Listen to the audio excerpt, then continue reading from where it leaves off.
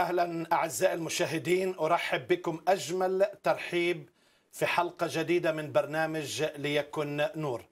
أصلي إلى الله انه تكون هذه الحلقة بركة لحياتك آه، اليوم وتكون سبب آه، خلاص لحياتك ولا سيما رح نتكلم عن موضوع كتير كتير مهم ومهم إلنا في هذه الأيام والموضوع هو بكل بساطة رح نتكلم عن عثرة الصليب هل حقا الصليب عثرة؟